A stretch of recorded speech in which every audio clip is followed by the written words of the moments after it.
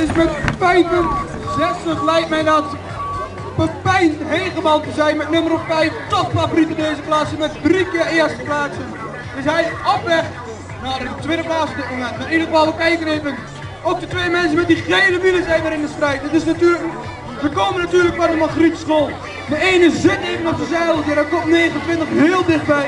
Een 107, hij kijkt nog even toe, maar hij gaat vast zo een aanval plaatsen op die mooie.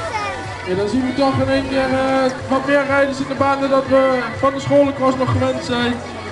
Eh, het is 104 eh, Leon Roet, Roeteren Dink aan de leiding, maar er komt er binnendoor actie van, Stu, van Sam Schuurman. Het was niet snel genoeg, we hadden een vol tijdje in de betonnen kombocht.